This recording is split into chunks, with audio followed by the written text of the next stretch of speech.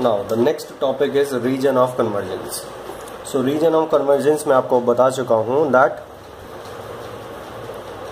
range of s for which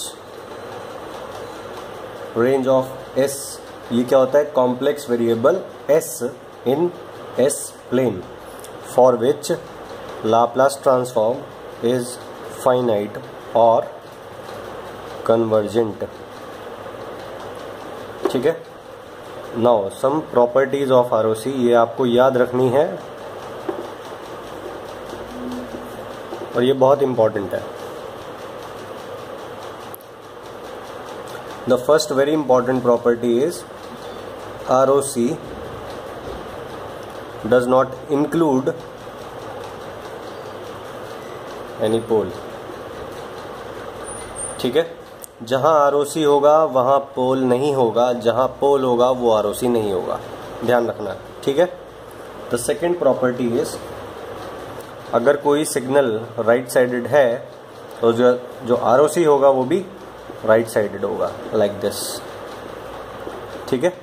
ROC भी right sided होगा। होगा राइट साइडेड राइट साइडेड का मतलब ये नहीं है कि सिर्फ़ पॉजिटिव में होगा। To the right of something होगा, इस तरह से। To the right of this to the right of this right sided होगा बस ठीक है?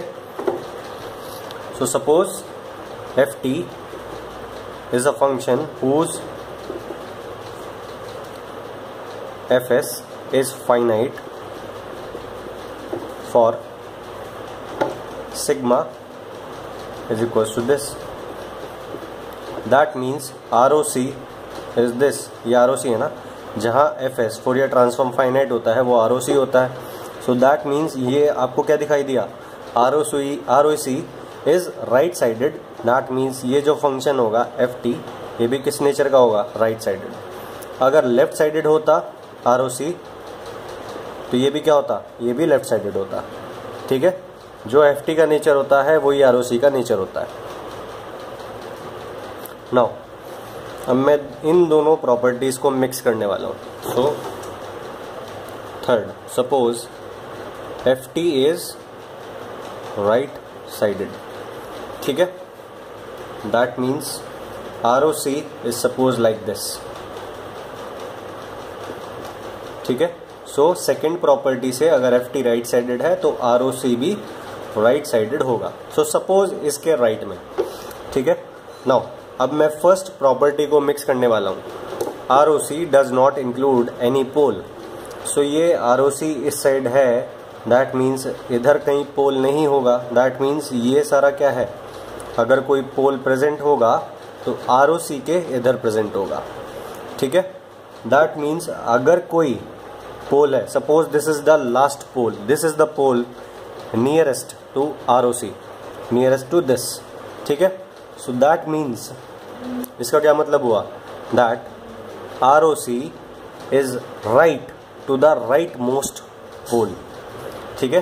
जो लास्ट पोल होता है, वो यहाँ पे होता है, ध्यान रखना। ठीक है? ये नियरेस्ट पोल नहीं है। नियरेस्ट पोल बिल्कुल इसी के ऊपर होगा। R O R O C इसके राइट में ये पोल लोकेशन है। इसके राइट में आर ओ सी है। जहाँ आर ओ सी है, वहाँ पोल नहीं है। ठीक है? बाकी पोल यहाँ पे होंगे लेफ़्ट में। एक पोल जो होगा, जो आरओसी के नियरेस्ट होगा, वो ये है। और इसके ही राइट में right right to the rightmost pole for right sided signal so the statement is for right sided signal R O C is right to the rightmost pole ठीक है? Now suppose f t is left sided and that means by property number 2 ROC would be left sided. ठीक है? So ये ROC हो गया suppose now जहाँ ROC होता है, वहाँ पोल नहीं होता. दैट मीन्स पोल यहाँ पे होंगे. ठीक है? सो जो नियरेस्ट पोल होगा, वो कहाँ पे होगा? ये. ठीक है? So that means R O C is left to leftmost pole So ROC for left sided signal ROC is left to leftmost pole. ठीक है, ये स्टेटमेंट है। नाउ थर्ड स्टेटमेंट है, अगर एफ़ टी बोथ साइडेड है। ठीक है, ना तो इस साइड है, ना उस साइड है। दोनों साइड है। दैट मीन्स आपका जो आर ओ सी आएगा, वो एक स्ट्रिप आएगा स्ट्रिप ठीक है? So R O C is a strip in what plane ये प्लेन कौन सा होता है? Sigma and j omega plane जो होता है, उसको एस प्लेन बोलते हैं। ठीक है? So for both sided signal R O C is a strip in s plane now the fifth property is on stability ठीक है? ध्यान रखना स्टेबिलिटी हमेशा सिस्टम का होगा।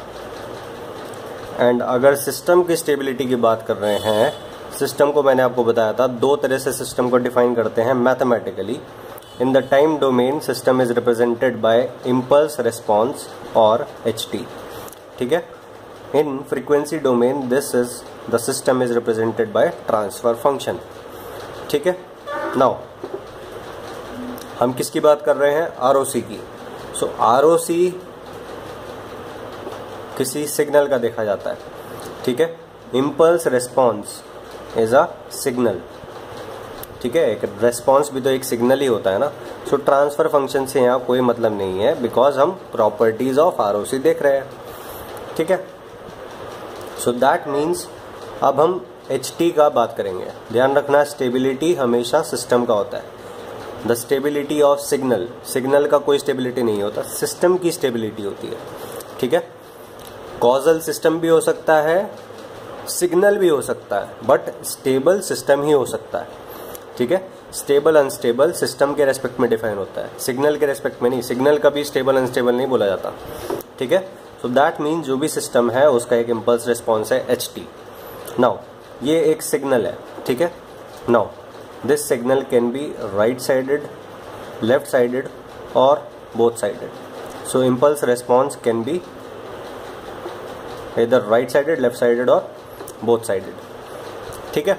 सो अगर इम्पल्स रिस्पॉन्स राइट साइडेड है तो आपका आरओसी भी क्या होगा? राइट साइडेड होगा। लेफ़्ट साइडेड है तो लेफ़्ट साइडेड होगा। ठीक है? और बोथ साइडेड है तो स्ट्रिप होगा। ठीक है? इस तरह से। सो so, हमें स्टेबल की बात करनी है। When the system is stable and when and when the system is unstable so the condition is for stability R O C must include j omega axis that means suppose h t is right sided suppose ठीक है? Suppose h t is right sided ठीक है?